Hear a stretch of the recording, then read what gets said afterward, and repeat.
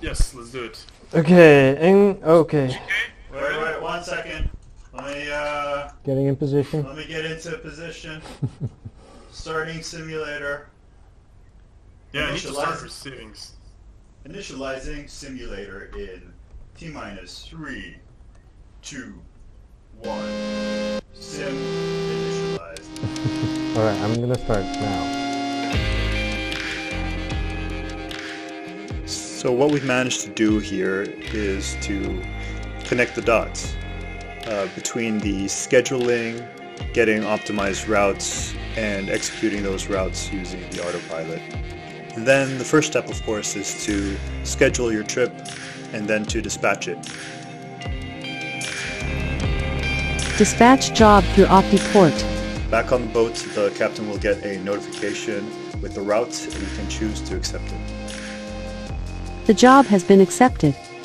Autopilot engaged. This is Nautis, and this is a simulator built by VStep.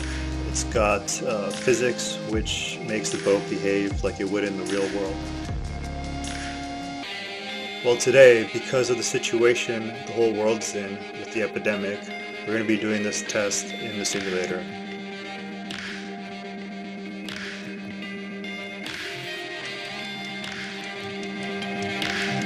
Target detected up ahead.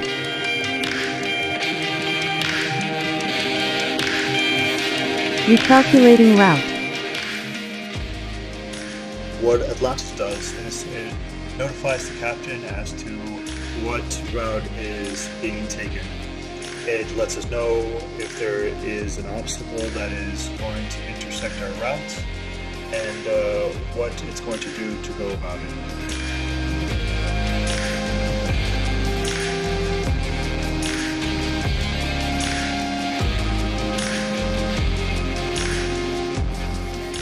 So here you see radar.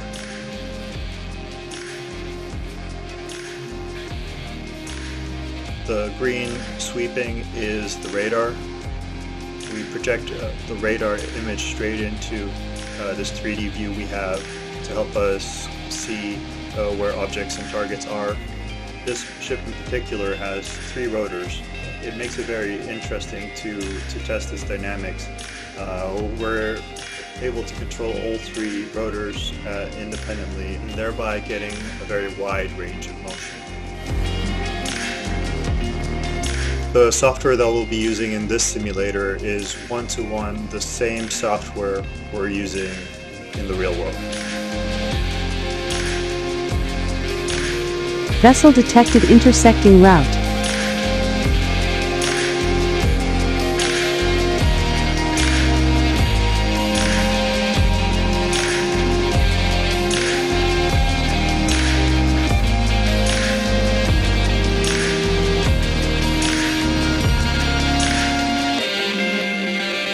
You have arrived.